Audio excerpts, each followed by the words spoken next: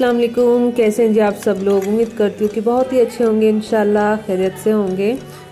तो टाइटल से तो आपको पता चल ही गया होगा कि बच्चे मतलब कितना हमारी हेल्प कराते हैं, हमारा काम बढ़ाने के लिए घर में। ऑलरेडी इतने काम होते हैं कि सोचते हैं कि जल्दी से टाइम पर काम निमट जाए तो जाके रेस्ट करें, कुछ करें। बट पीछे पीछे ऐसा होता है ना कि बच्चे काम बढ़ाते जाते हैं आगे आगे सफ़ाई होती रहती है और पीछे से उनका कुछ ना कुछ चलता ही रहता है। और बस खैर क्या कर सकते हैं? बच्चे हैं बच्चे वाले घर में चीज़ें टूटना ख़राब होना पूरा अनटाइडी होना। बट मुझे क्या होता है ना कि मुझे थोड़ा सा क्लीन चाहिए। और इतनी मेहनत से मैं कुछ चीज़ें अपने घर में प्लांट लगाना या कुछ इस तरह डेकोरेशन करना।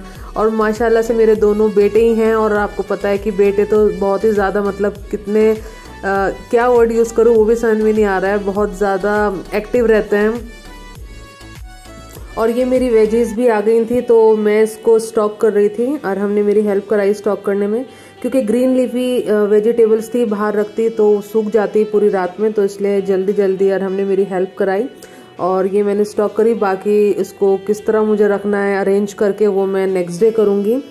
और बस ये मेरा नेक्स्ट मॉर्निंग हो गया था और अर्श को बहुत ज़्यादा मन था जलेबी का, क्योंकि कई बार क्या हुआ ना कि हम बाहर से कुछ मंगा रहे हैं, चाट वगैरह तो उसका मन था कि जलेबी आ जाए। तो एक बार जलेबी ऑर्डर भी करी तो बहुत ही सौगी और ठंडी हो गई थी। तो फिर बस मैंने सोचा, कल रात मैंने इसका बैटर बना दिया था जलेबी का, और मॉर्निंग में जलेबी बना के दे दी। बहुत ही ईजी है, जितना आप मैदा ले रहे हैं, उतना पानी लेके, एक कटोरी मैदा है तो एक कटोरी पानी लेके आप इसको अच्छे से फेंट लें।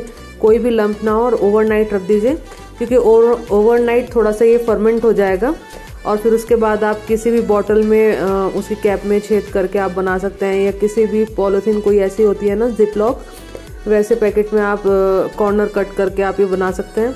सिरप का भी यही है, चाशनी जो होती है शुगर की, आप इसको इतना पका लें कि ये एक तार की हो जाए तो आपकी जो जलेबी है वो रेडी हो जाएगी। और सुबह ही सुबह जलेबी खाने में गरम गरम क्या मज़ा आया है।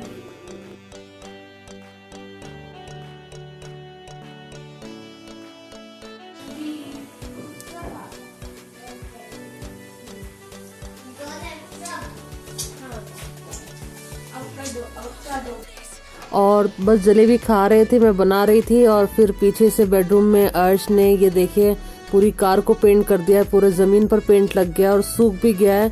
तो जब ये ऐसे काम होते हैं तो सच्ची में गुस्सा तो बहुत ज़्यादा आता है कि सारे काम बिगाड़ दिए हैं, एक काम ख़त्म नहीं हुआ, दूसरा स्टार्ट हो गया। और फिर बाथरूम में जाके इसको वॉश करना तो बच्चे बस काम बढ़ाने में बस आगे आगे रहते हैं। खैर, बस ये फिर मैंने इसको निकाला बाथरूम से बाहर, फिर जितना भी हर जगह पेंट था, उसको क्लीन करा बटन्स पे वॉल्स पे, जहाँ जहाँ पेंट था, उसको मैंने क्लीन करा। वीडियो तो मैंने नहीं बनाई, क्योंकि फिर बहुत ज़्यादा टाइम हो गया था। बस यहाँ से निकल के फिर मैं खाना बनाने चली गई थी। खाने में मैं दाल राइस बना रही थी बहुत ही। सोबर सा लंच था।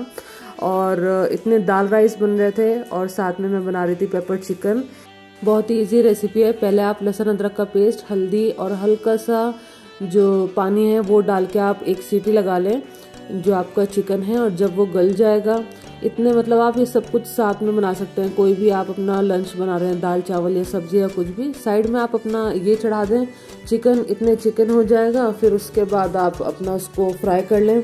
और दूसरी तरफ़ ये मैं बना रही हूँ रसम, क्योंकि मुझे रसम बहुत मतलब क्या होता है ना खट्टा खट्टा रहता है तो बहुत टेस्टी लगता है।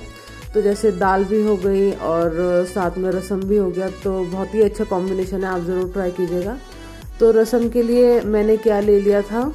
लाल मिर्च, अगर आपके पास साबुत है तो साबुत ले लें, उसके अंदर ज़ीरा डाल लें टमाटर, प्याज, नमक, और उसके अंदर आप इमली का छोटा सा पल्प डाल के उसको पीस लें।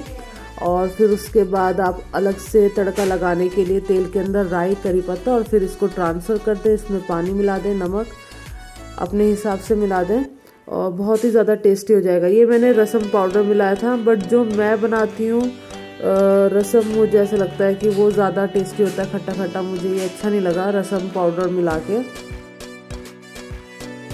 और बस रसम रेडी था तो मैं बना रही हूँ अपना पेपर फ्राइड चिकन और ये मैंने नमक और जो मेरा पेपर है, उसको मैंने साथ में मिक्स कर लिया है। अगर आपके पास ऑलरेडी नमक और सॉल्ट पेपर मिक्स हैं तो फिर मत कीजिएगा। और थोड़ा सा ऑयल गरम करके हम इसको शैलो फ्राई करेंगे चिकन को। बॉयल तो था, ये बिल्कुल कुक है।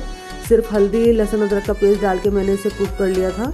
और बस ये सारा का सारा चिकन में तवे पर डाल के और उसके ऊपर पेपर डाल दूँगी। और पेपर भी आप ये मत समझिए कि कितना सारा पेपर है, जलन हो जाएगी या कुछ हो जाएगा सीने में, जैसे एसिडिटी वगैरह कुछ। नहीं, ये इसके हिसाब से सही है।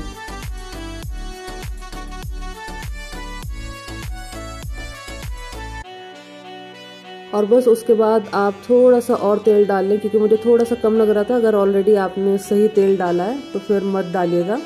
और हम बस फिर इसको फ्लिप कर लेंगे। देखिए कितना मतलब ये बहुत ही ज़्यादा क्रिस्पी हो गया था, जो ये गोल्डन कलर आ रहा था ना।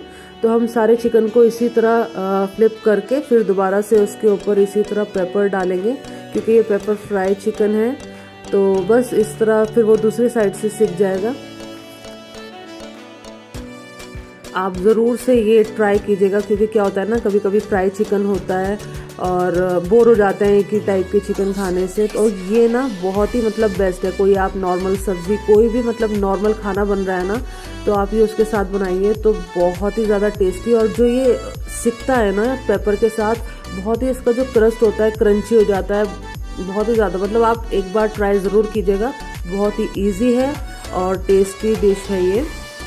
तो जी, बस यहीं तक की थी मेरी वीडियो उम्मीद करती हूँ कि आपको अच्छी लगी होगी। तो ज़रूर कमेंट लाइक कीजिएगा शेयर कीजिएगा। और जो मेरी वीडियो को फ़र्स्ट टाइम देख रहे हैं सब्सक्राइब कीजिएगा। इन फिर मिलेंगे। अल्लाह हाफिज़।